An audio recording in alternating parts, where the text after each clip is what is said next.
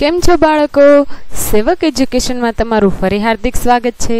આજે આપણે જોઈશું ધોરણ ત્રણ, વિષય આસપાસ.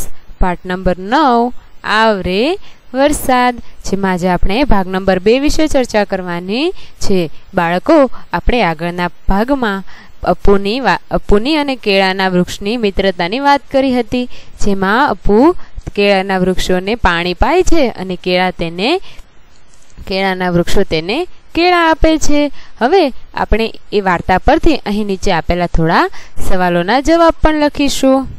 તો ચાલો બાળકો, શરૂ કરીએ આજનો વીડિયો લેક્ચર પહેલો સવાલ છે, કેળાના વૃક્ષને પાણી ન મળે તો શું થાય? જો બાળકો, કેળાના વૃક્ષને પાણી ન મળે તો શું થાય તેવું આપણને અહીં પૂછવામાં આવેલું છે.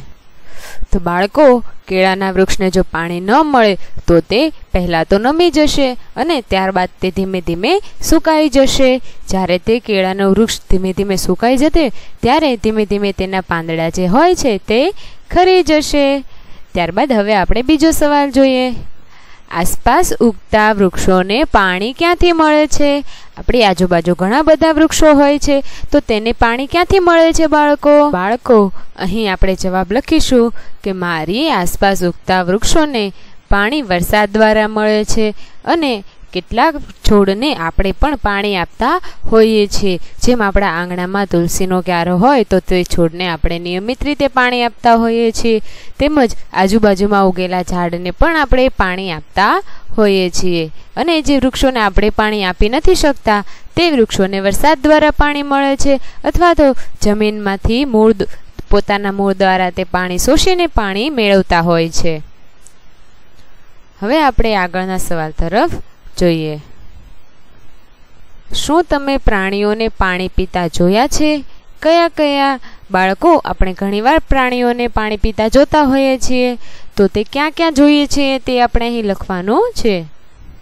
તો બાળકો, આપણે અહીં જવાબ લખીશું કે હા, ઘણા બધા પ્રાણીઓને આપણે પાણી પીતા જોયા હોય છે. તેઓ નદી, તળાવ, હવાડામાંથી અથવા તો વાસ એટલે કે હોજમાંથી પાણી પીતા હોય છે. ત્યારબાદ આપણે ચોથા સવાલ તરફ જઈએ, તો આપણને કહેવામાં આવ્યું છે કે તમે કોઈ પ્રાણીને પાણી પાયું છે? તે કઈ રીતે પીએ છે? બાળકો, તમે કોઈ પ્રાણીને જો પાણી પાયું હોય, તો તે તમારે અહીં લખવાનું છે. અને તેઓ કઈ રીતે પાણી પીવે છે તે પણ તમારે અહીં લખવાનું છે. માટે આપણે અહીં જવાબ લખીશું કે હા, મેં ગાય અને કૂતરાને પાણી પાયું છે.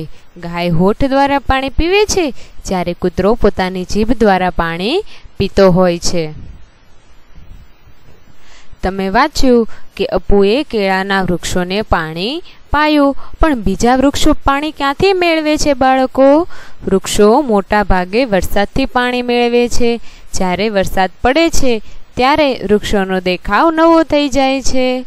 આપણને ખબર છે બાળકો કે જ્યારે વરસાદ પડે છે, ત્યારે આજુબાજુની જે ધરતી હોય છે, તેમાં નાના નાનો ઘાસ ઉગી નીકળે છે અને સાથે સાથે નાના નાના છોડ પણ ઉગી નીકળે છે. ત્યારે વૃક્ષો નવો પોતાનો દેખાવ કરતા હોય છે.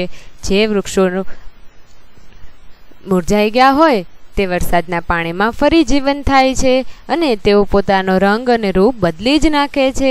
તે જોઈને આપણને ખૂબ જ મજા આવે છે. ચાલો આપણે કવિતા વાંચીએ અને ગાઈએ. આગળના પન્ના ઉપર આપણને એક સુંદર મજાની કવિતા આપેલી છે. તો તે આપણે જોઈએ. આવ્યા વાદળ જાદુ લઈ. અહીં આપણને વાદળોની વાત કરવામાં આવી છે કે જે વાદળો છે તે જાદુ લઈને આવ્યા છે. ગોરા થઈને, કાળા થઈને આવ્યા વાદળ જાદુ લઈને. જે વાદળો છે તે ક્યારેક સફેદ રંગના થઈને આવે છે, તો ક્યારેક કાળા રંગના થઈને આવે છે. પણ જ્યારે વાદળો આવે છે, ત્યારે જ વાદુ લઈને જ આવે છે. શ્વાન હરણા હાથી ઘોડા આવ્યા હંસ હંસલીના જોડા. શ્વાન એટલે કે કૂતરો. બાળકો, શ્વાન એટલે શું થાય? કૂતરો. શ્વાન હરણા હાથી ઘોડા. શ્વા એટલે કે કૂતરો, હરણા હાથી ઘોડા. હંસ અને હંસલી, હંસલીના જોડા થઈને વાદળો આવતા હોઈએ છીએ. ક્યારેક હરણા થઈને આવે દોડા દોડી કરતા આવે. બાળકો, ક્યારેક વાદળો છે તે હરણ થઈને આવતા હોય છે અને એક જગ્યાએથી બીજી જગ્યાએ દોડ્યા જ કરતા હોઈએ છીએ. જ્યારે પવન વધારે હોય, ત્યારે બધા જ વાદળ અહીંથી અહીં અહીંથી અહીં દોડતા હોય છે. આવ્યા વાદળ જાદુ લઈને. પળમાં આવે ને પળમાં જાય, ક્યારેક મહિનાઓ ના દેખાય. વાદળાઓ થોડી વારમાં આવી જાય અને થોડી વારમાં ગાયબ પણ થઈ જાય. ક્યારેક ક્યારેક તો મહિનાઓ સુધી દેખાતા નથી. જ્યારે ઉનાળાની ઋતુ આવે છે ત્યારે વાદળાઓ બિલકુલ દેખાતા નથી. ચોમાસામાં તો ખૂબ જ વાદળા દેખાય છે. જ્યારે શિયાળાની ઋતુમાં ક્યારેક વાદળા હોય છે, તો શિયાળાની ઋતુમાં ક્યારેક વાદળા હોતા નથી. ક્યારેક પાછા એવા ઠરતા ટાળો તો એ વાદળના ટળતા. ક્યારેક તો એવા ઠરે કે જાણે આપણે ના પાડતા હોય, છતાં પણ વાદળ ત્યાંથી હટે નહીં. આપણે જોઈએ છીએ કે વરસાદની ઋતુમાં ઘણા દિવસો સુધી વાદળા આકાશમાં રહેતા હોય છે, સૂર્ય પણ આપણને દેખાતો નથી. એટલે અહીં કહેવામાં આવ્યો છે કે ક્યારેક તો એવા વાદળાઓ ઠરે છે કે આપણે ટાળવા છતાં પણ તેઓ વાદળ વાદળ જે હોય છે તે ટળતા નથી.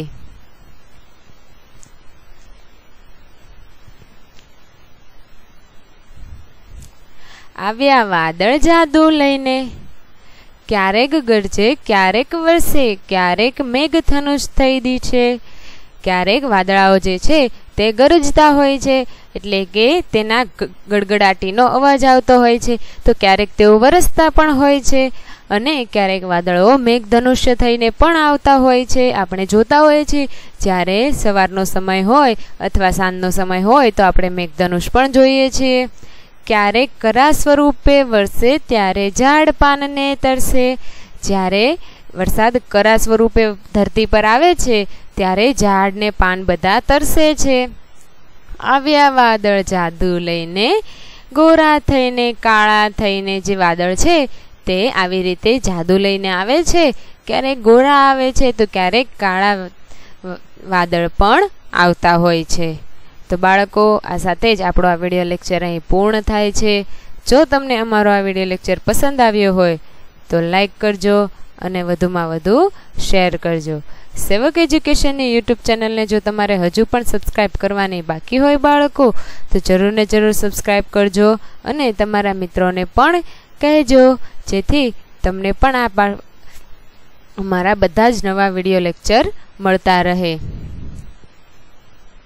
હવે આપણે મળીશું આ પાઠના આગળના ભાગમાં. ત્યાં સુધી આવજો બાળકો.